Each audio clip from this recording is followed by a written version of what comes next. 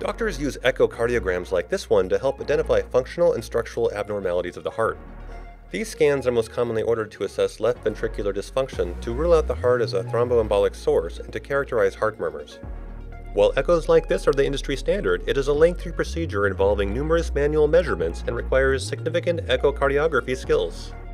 Furthermore, interpreting a 2D representation of a 3D object is an indirect approach, and hence many different methods have to be used and combined to come up with reliable approximations of the parameters of interest, such as the wall thickness of the left ventricle or the ejection fraction of the heart, a measure of the heart's pumping ability.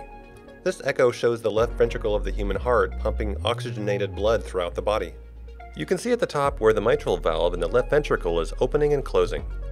Now, using Clara, I've added an AI-generated 3D volume of the left ventricle. The Clara code that generated this volume is containerized so that it can run on workstations, on-premise data centers, and even in the cloud using NGC. This volume was created using a convolutional neural network AI that learned to predict the endocardial border of the left ventricle frame by frame from voxels to simulate a 3D beating heart.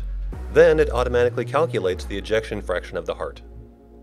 Unlike other echocardiographic methods, 3D methods of EF calculation make minimal assumptions of the left ventricular cavity shape.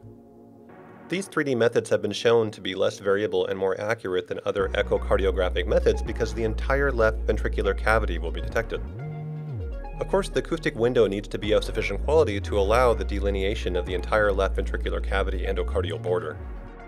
As you can see, this visualization transforms echocardiography images from a grainy 2D picture into easily interpretable 3D images, adding literally another dimension that doctors can see when viewing echocardiograms and making interpretations more intuitive.